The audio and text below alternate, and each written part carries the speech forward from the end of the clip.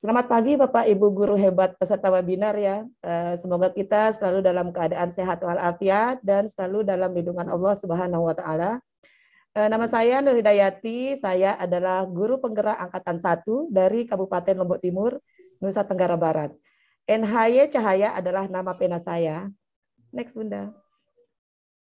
Di sini eh, saya ingin sedikit berbagi pengalaman ya, di mana sebenarnya ini adalah pengalaman pertama saya dalam menulis antologi dari kaki Gunung Rinjani kami bergerak ini adalah buku antologi pertama saya di mana judulnya yaitu Keringat dan Mutiara Ilmu Calon Guru Penggerak.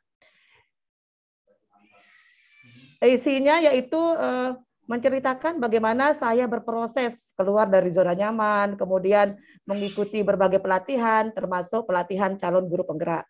Eh, di mana kami ini berjuang CGP Angkatan 1 itu uh, bisa dibilang berdarah-darah ya, karena kami mengerjakan tugas tanpa tanpa adanya referensi, tidak seperti sekarang teman-teman yang angkatan dua dan seterusnya, alhamdulillah uh, memiliki banyak referensi yang bisa dilihat di YouTube maupun di Google. Saya ini uh, sangat tertarik sekali dengan materi mindfulness yang ada di guru penggerak yang sudah kita pelajari bersama dan ternyata menulis adalah salah satu bentuk mindfulness ya yang sangat luar biasa bagi saya di mana di saat saya punya masalah atau apa yang ada di dalam hati saya, saya bisa dengan aman mencurahkannya di dalam sebuah tulisan.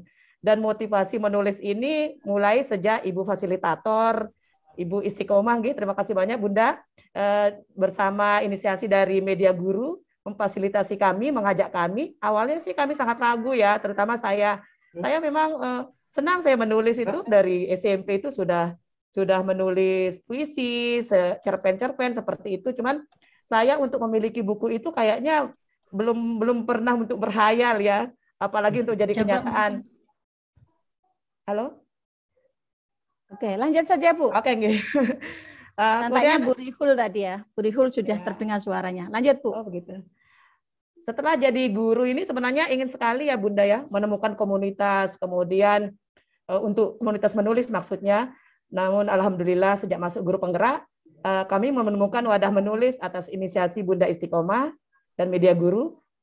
Kemudian selain membuat buku antologi itu, eh, Bunda Isti juga menginisiasi kami ikut dalam pelatihan yang namanya Sagu Sabulo Tim, satu guru satu buku untuk guru Lombok Timur. Kemudian alhamdulillah Bunda juga mengarahkan kami untuk ikut ke Guru Siana dan ini merupakan sesuatu yang sangat luar biasa bagi saya. Saya ikut di sana menulis, kemudian mencurahkan ide-ide seperti itu. Di pelatihan itu juga kami diajarkan bagaimana outline ya, outline, kemudian menuangkan ide tanpa ragu.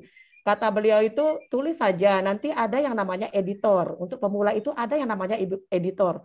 Bapak Ibu tidak perlu ragu, tuangkan ide, tanpa tanpa perlu ragu nanti ada bagian-bagiannya nanti tempat kita ini diperbaiki seperti itu.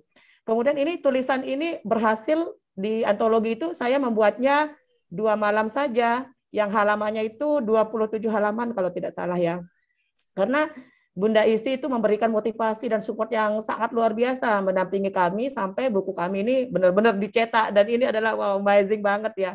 Oh, apa namanya? sangat sangat luar biasa bagi kami sebagai penulis pemula ini. Kemudian uh, ide yang mengalir begitu saja tanpa khawatir itu adalah salah satu salah satu support dari Bunda Isti ya. Jadi teman-teman penulis pemula nanti tidak perlu ragu, tidak usah, tidak usah takut untuk bergabung. Mari kita belajar, mari kita bergabung, uh, kemudian belajar bersama-sama di media guru. Nanti kita akan dibimbing seperti itu. Kemudian satu statement yang paling saya anu sama Bunda Isti ini yang paling saya ingat itu yaitu beliau berkata lakukan yang terbaik kemudian tuliskan katanya beliau. Kemudian untuk hidup sepanjang masa itu maka kita perlu menulis. Jadi kita akan tetap diingat seperti itu. Jadi saya ingin hidup sepanjang masa. Jadi itu adalah sebuah motivasi saya untuk menulis. Eh, selain itu juga dampak menulis next. Dan Pak menulis itu saya rasakan di pribadi saya itu sangat luar biasa ya. Eh, terutama dari teman-teman, kemudian dari atasan juga, di mana eh, kita juga selain mendapatkan kredit poin untuk kenaikan pangkat ya, kita juga mendapatkan eh, koin. Maksudnya dari hasil penjualan itu kita dapatkan koinnya juga gitu. Kemudian eh, rasa bangga di mana apa namanya buku-buku kita itu berjejer di rak-rak perpustakaan itu sangat sangat luar biasa. Kemudian di sana juga kita bisa bertemu dengan orang-orang yang hebat yang memiliki motivasi yang sangat tinggi. Jadi saya sangat beruntung sekali berada eh, salah satu pernah ikut jadi bagiannya media guru, terutama kepada Bunda Isti. Terima kasih banyak. Beliau sangat eh, memberikan kontribusi yang sangat besar untuk guru-guru di Kabupaten Lombok Timur. Terima kasih banyak Bunda.